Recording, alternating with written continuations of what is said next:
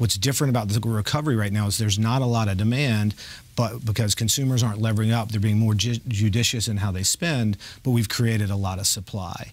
The second thing is try, China is trying to build a uh, domestic consumption economy. By definition, if they're doing that, that means they're doing less uh, trading with others. Right. And so you've got what I would say is the biggest part of the either number one or number two in the global economy in terms of growth, depending by year, is now more inward focused. That's what Xi Jinping wants. Over time, it makes them more of a defensive, more self reliant economy. Think about the U.S., we're 70% consumption largely is if we don't uh, shoot ourselves in the foot, we can have a pretty good economy. China has been largely fixed investment in trade. They've had to depend on exporting things to others.